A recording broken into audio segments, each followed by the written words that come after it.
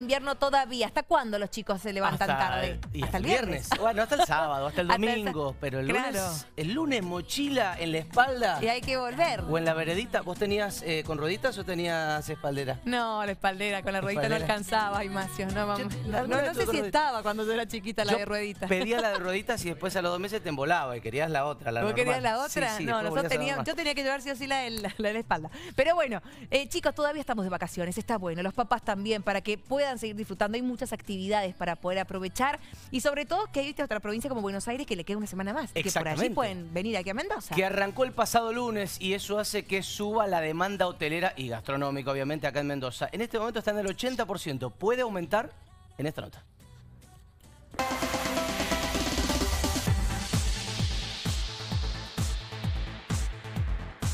Mendoza vive la segunda semana de vacaciones de invierno con buen nivel de ocupación hotelera. Los destinos más populares incluyen Las Leñas, Potrerillos, Cacheuta, Uspallata y la ciudad de Mendoza. Por suerte el movimiento es importante y eh, se está trabajando este, con una afluencia turística de buen nivel. Por ejemplo, ahora de ocupación hotelera, ¿cuánto?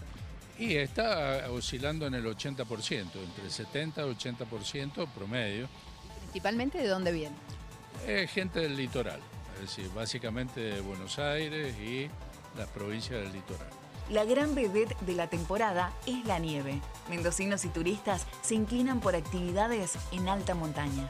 El atractivo principal es en esta época la nieve, lo cual no opta para que la gente aproveche para también disfrutar de la parte del enoturismo. Una excursión a alta montaña, ¿qué precio tiene? Una excursión a alta montaña cuesta 60 mil pesos.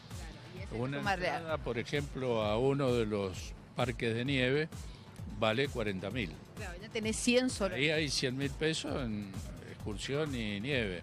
A eso hay que sumarle la comida, el alojamiento y, insisto, depende del nivel.